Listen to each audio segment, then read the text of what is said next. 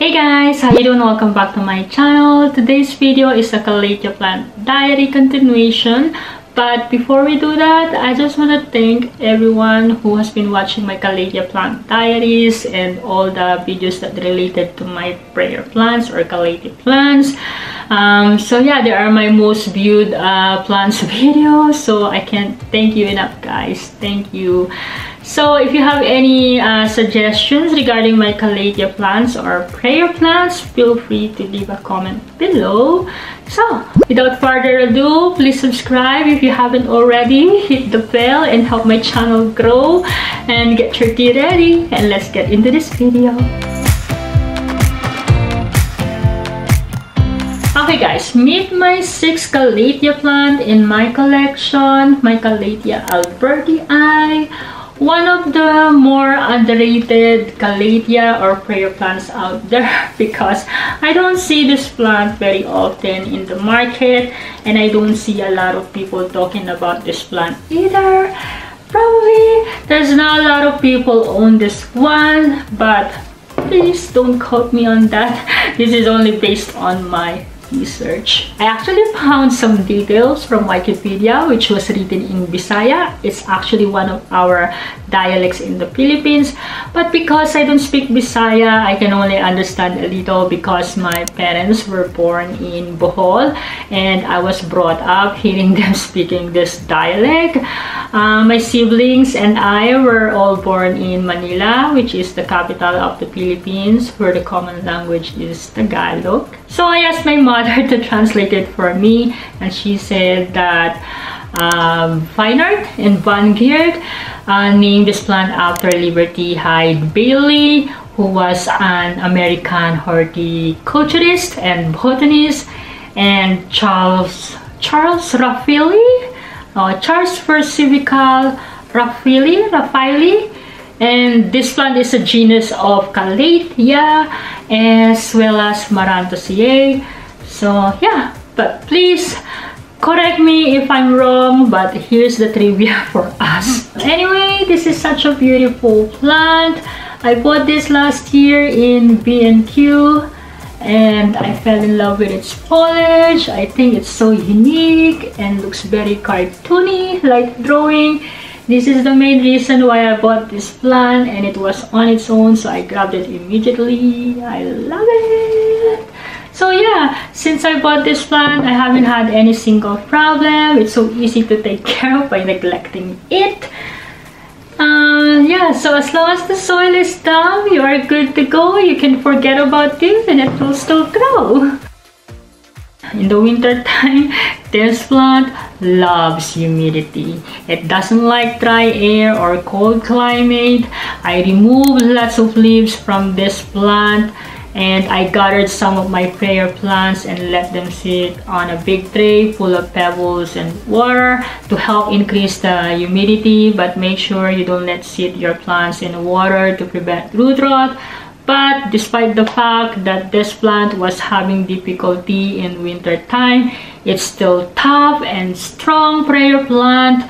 It's very forgiving. I pruned this. It didn't throw tantrums at all. It's still standing. So yeah this is very forgiving plants based on my experience and just love it.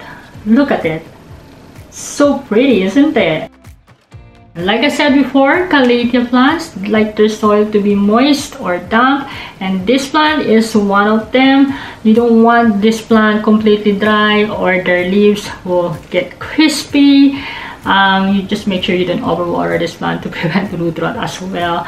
If you have moisture meter use it. I don't have one i don't need it. But to be honest i only water this plant once every four to six weeks I haven't repotted this plant since I bought it last year and it says 10 pounds. It's not expensive for such a big plant. I'm going to repot this guy, so keep on watching to see me repotting this uh, Albertii. Let's see if Albert has a big root system, so keep on watching. I fertilized this plant this spring and I use the same fertilizer I use on all my houseplants. As you can see, there's a few baby leaves. They're light green compared to the matured ones. The only downside of this plant is when they produce uh, new leaves, it starts like this and then they develop into this beautiful leaves. So be aware of that just in case you think, uh, why are the leaves like this? Is there something wrong with the plant? There's nothing wrong with it, guys. It's just the way this plant grow. They have different uh, transformation. I also noticed this to my Calathea lancifolia, but the only difference is the lancifolia, the leaf transformation. Uh, pretty slow compared to this Alberti albertii was pretty quick. What do you think of his foliage guys? Isn't it gorgeous? For me, despite the brown tips, it's pretty aesthetic. I love the edges of the leaves are so wavy. It's pretty cool. It's very similar to Rufibarba. Is it Rufibarba? Which has a red tone underleaf so if you don't like brown tips on your plants then maybe this one isn't for you. It requires high humidity to keep those brown tips at bay. Personally i don't mind it too much. It's fairly aesthetic and i love this plant so so much. I love the foliage.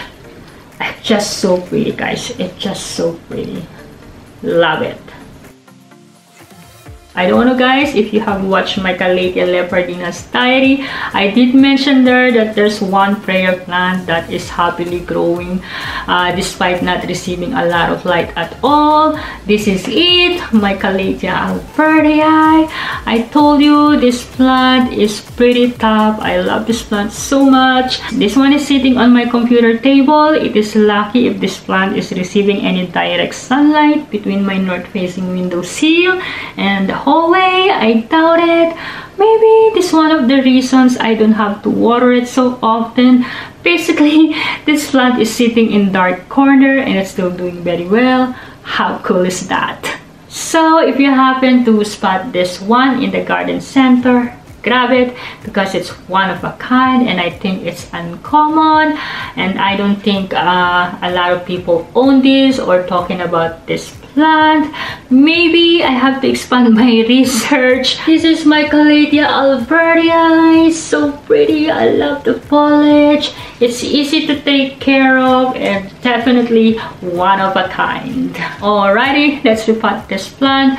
But first, give this video a thumbs up. Subscribe if you haven't already. Just right there, just right there. Thank you. You take my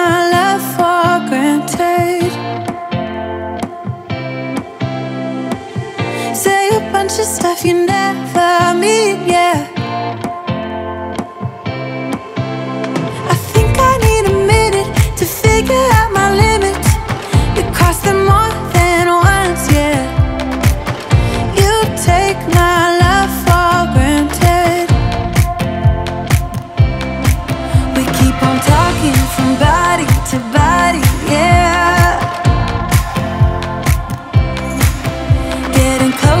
To just being nothing